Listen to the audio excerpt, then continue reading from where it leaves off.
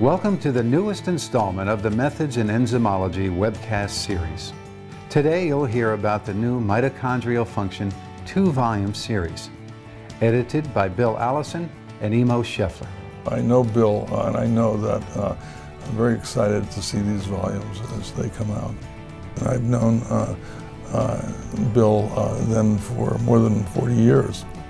And uh, Bill is now retired, as I am, and uh, but he knows more about uh, the field of mitochondria than just about anything. And these volumes will be a true uh, uh a connoisseur's uh, version of mitochondrial function uh, put together from a lifetime of, of experience. This two-volume collection of methods is edited by Bill Allison with Immo Scheffler and Anne Murphy and has contributions from 200 authors. The other thing is he, he's, he's um, also got together with some young people who are, uh, and, and an older guy, Immo Scheffler, is also one of the co-authors. And Immo uh, wrote the uh, textbook on mitochondria and on biochemistry. And he's also uh, has as a co-author Anne Murphy, uh, someone who was um, originally in the biotech area, but was now uh, also one of these people with an encyclopedic knowledge of uh, the mitochondrial um, uh, area. So it's going to be a terrific set of volumes, two volumes.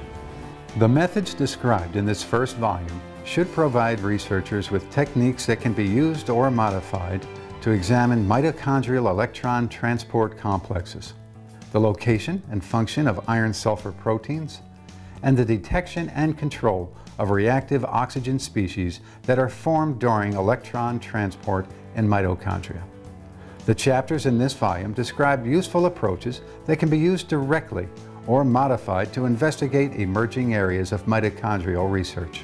The authors have highlighted some of the advances in methodology that have allowed further identification of components and post-translational modifications of the mitochondrial proteome characterization of the dynamic changes in structure and movement of the organelles, as well as assessment of the functional changes of mitochondria both in health and disease.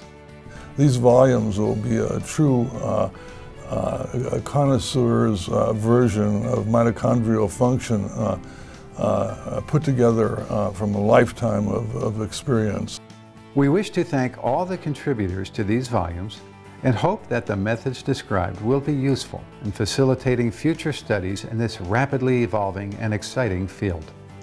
To learn more about these volumes, read sample chapters, and view webcasts, visit us online at elsevierdirect.com.